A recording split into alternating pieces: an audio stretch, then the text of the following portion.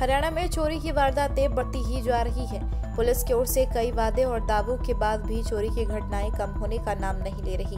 वहीं इसी कड़ी में आज एक और वारदात जुड़ गई।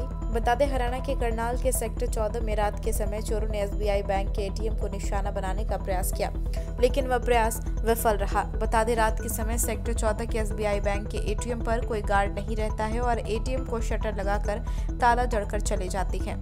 इसी का फ़ायदा उठाते हुए चोरों ने वारदात को अंजाम देने की कोशिश पर वह विफल रही। उन्होंने ताला तो तोड़ लिया लेकिन बिजली के तारों के साथ छेड़छाड़ कर ली और शटर आधा खोलकर चले गए।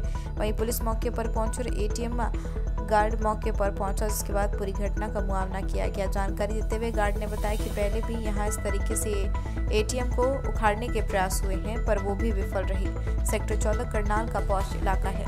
फ़िलहाल पुलिस ने मामला दर्ज कर लिया है और एटीएम में लगे हुए सीसीटीवी कैमरे को भी खंगाल रही।